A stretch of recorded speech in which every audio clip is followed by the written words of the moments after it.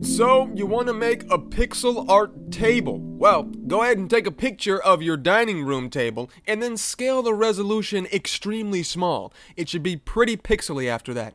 Hey guys, welcome back to Tuts by Kai. I'm Kai and today we are back once again. Oh, taking a look at a pixel art table tutorial. I'll make up a new file here, 128 by 120 hizzy. And we're going to hit OK on that. And I'm just going to hit uh, Tab to get rid of our preview. I'm sorry, to open up our timeline, rather. Um, and I want to, uh, I just, I wanted that open today. I don't know why. And I'm going to get rid of our preview by hitting X. There we go. Now, I'm using my mouse, so it's going to be a little awkward, but it's fine. We're going to go ahead, and the first thing I want to do is get a basic shape down. So I'm going to go solid black. We're not going to do any tones or overly faded colors today.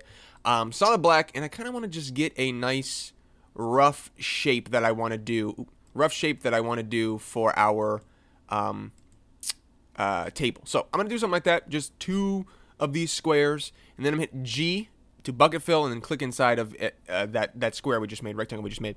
All right, so from here on out, I kind of want to go ahead and carve this away. So I'm going to E to go to the erase tool, and then put my brush size on 1 from 8 up here. And we're going to kind of just erase this back. So that little corner right there, and then we're going to do the same thing on this corner over here. So what is that? Four pixels up, three pixels across. Get rid of all that. And then I'm going to skip three more pixels and put a line right there.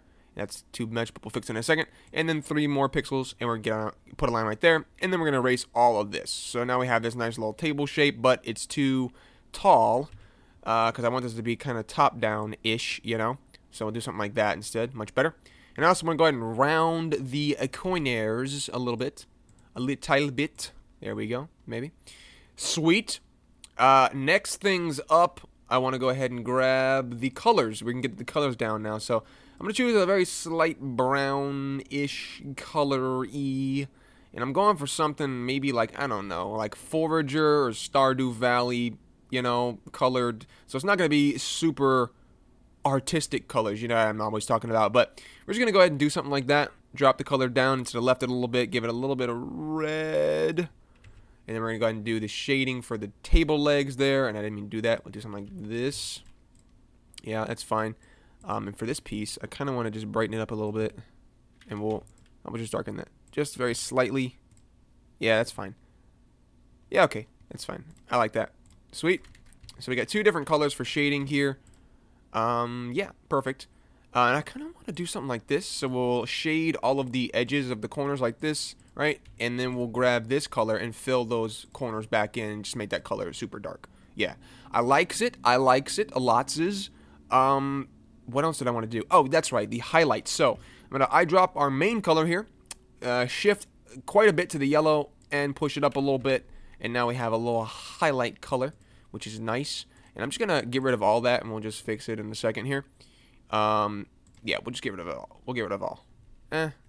Maybe I'll do something like this. We'll go halfway down, then skip one, and then we'll end it there. Same thing on this side. We'll end it like that. Uh, yeah, sure. Like that. Cool. Now, I'm going to grab this color and put that... Uh, maybe I'm not going to do that. That's too too dark. Let's just darken that one just a little bit. Maybe. And then we'll just kind of tone these together a little bit. So let me eye drop this darker color we have right here. And I'm going to just drop the opacity down a little bit and then hit B, then go back to brush, and then we'll just do it like that. Super easy way to shade something. Um, maybe we'll even do something like that. No, no, no. Okay. All right, sweet. So we have a little bit of highlights. We got a little bit of nice looking stuff going on. I want to pull this all the way across, maybe. And then we will do the same thing with that, and we'll pull that over. Maybe. Yeah. Okay, that's cool. I enjoy it. Um, and I want to real quick just do a little quilt, maybe. A little quilt. I don't know. We'll do something like a uh, very vibrant-ish red-pink color. And then we'll kind of go from here. And we'll just... Oh, maybe we'll go all the way across. We'll do something like this instead. Yeah, yeah, yeah, yeah, yeah, yeah, yeah. So what is that? One, two, three, four, five, six. One, two, three, four, five, six. All right, no. Uh, cool. Now hold down Shift to have the little line like that. And then I'm going to go one down like... Uh, I'm going to go one down like this, rather and then we'll go down another one. So it kind of has like this little, this little, you know, thing coming off its side of the table. That's pretty cool. Um, and then I want to shade that, of course. So we'll grab that, darken it a little bit to the pinkishy purple, or we'll go more to the red, actually. Eh. Eh, desaturate. darken it a little. Ah, it's too dark. Uh, that's. Oh, no. That's fine. We'll leave it like that. Uh, and then we'll just, yeah. Cool. All right. Nice. Niceness. Niceness. I don't like this, so we're getting rid of it. Never mind. And then I got to push this down one. All right. Yes, I enjoy that better. Do I? No, I don't. Never mind. All right, cool. So, you never know, you know. Uh, and then I, I want to do a little bit of a design in here. Maybe we'll just grab the same color, and then we'll do like this.